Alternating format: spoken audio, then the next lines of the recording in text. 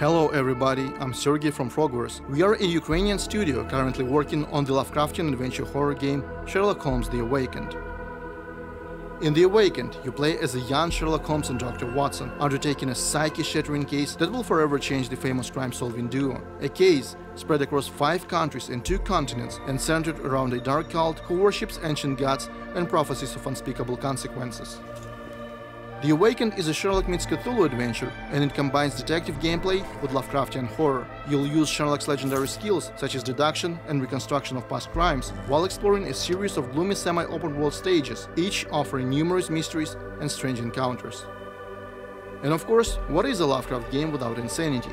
In The Awakened, Sherlock's mind slips further into madness the closer he gets to the answers of supernatural origin. We are now in the final months of production. Offering around 15 hours of playtime, The Awakened will be out on PC and consoles in February or March 2023. That is, if our lives don't get thrown into more turmoil.